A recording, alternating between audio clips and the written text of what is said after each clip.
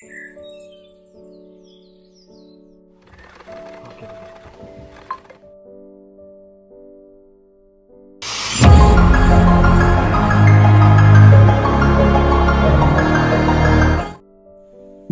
ज़िले का काना नेशनल पार्क इस समय बागों से गुलजार है। जहाँ देश भर में पारा 40 डिग्री के पार पहुँच चुका है, वहीं इस तपती गर्मी में काना के हरे भरे जंगल पर्यटकों को बड़ी राहत देते हैं।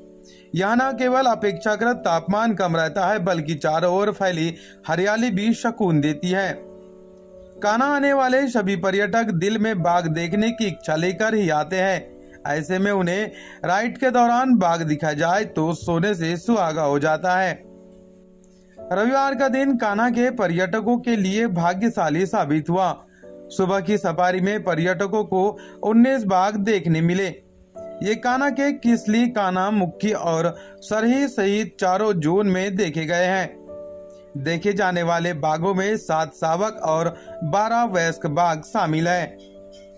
जानकार बताते हैं कि इस समय मौसम में गर्मी की वजह से झाड़ियों के सूख जाने से दृश्यता बढ़ जाती है। साथ ही वन प्राणी की गर्मी से राहत की तलाश में जल स्रोतों के आसपास आ जाते हैं। इसलिए काना पार्क में इस समय बाघ और अन्य जानवर आसानी से पर्यटकों को देखने मिल जाते हैं।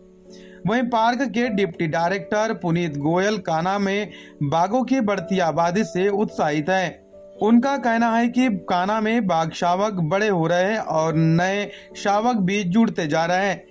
ये काना के लिए एक अच्छे संकेत है उन्होंने बताया कि काना में बाघों की आबादी सतत बढ़ रही है अभी कई मादाओं के साथ सावक है, जो आगे भी संख्या बढ़ने के संकेत हैं।